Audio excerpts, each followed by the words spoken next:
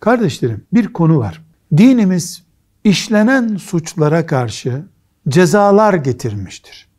Mesela Ramazan günü bile bile orucunu bozan birisine 60 gün kefaret tutacaksın demiştir. Kefaret deniyor bu 60 gün cezaya. Bir konuda yapacağını düşünüp yemin eden sonra da o yemini yapamayan birisine de ceza getirmiştir. 10 fakire bir elbise alacaksın demiştir. Veya 10 fakiri doyuracaksın demiştir. Sen de fakirsen bunları yapamazsan 3 gün oruç tutacaksın demiştir.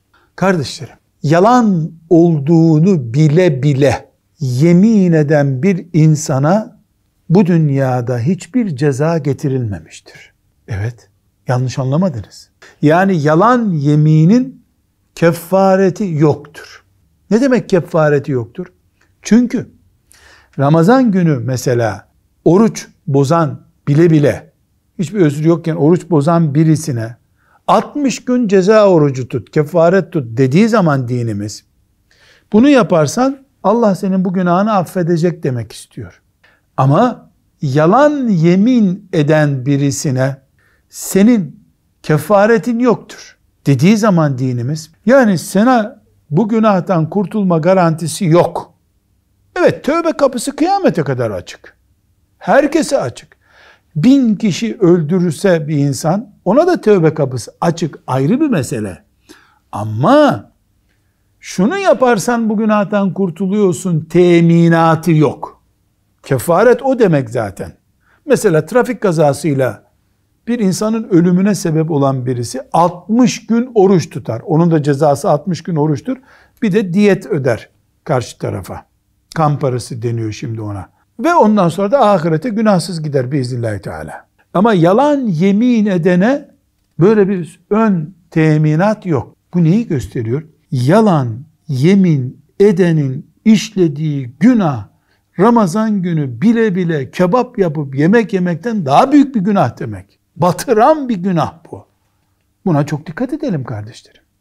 Bunun dışında bir insan bir konuda yemin etti. Sonra anladı ki ya ben yanlış yaptım bu işi. Doğru değilmiş bu. Bu yeminden geri gelebilir mi? Gelebilir. Bahsettiğimiz cezayı öder. 10 fakiri götürür lokantaya buyurun yiyin burada der. 10 kişiyi doyurur. Ya da bir kişiyi 10 gün götürür. Ya da götürür konfeksiyoncuya herkese birer pantolon alır. Veya başka bir giysi olacak bir şey alır. Bir kadına bir feracı alır. Bunu 10 tane yapar. Yani 10 kişiye yapar o yeminiyle ilgili günahtan kurtulur biiznillahü teala. Yani yeminimizden mesela insan hanımına sinirlendi. Vallahi billahi ben de senin bir daha babanın evine gitmeyeceğim dedi. Bu yanlış bir şey.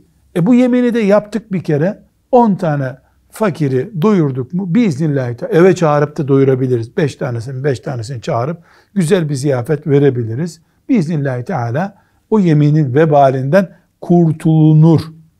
Aksi takdirde bu vebal kıyamet günü olur. Yani yemin ettikse kıyamet günü e, bir daha o yemin yani kıyamet gelmeden yemini çözemeyiz diye bir şey yok.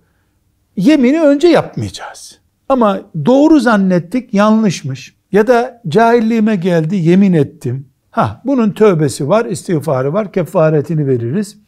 Amma ve lakin bile bile yalan yemin ettiysek bu çok tehlikeli kardeşlerim.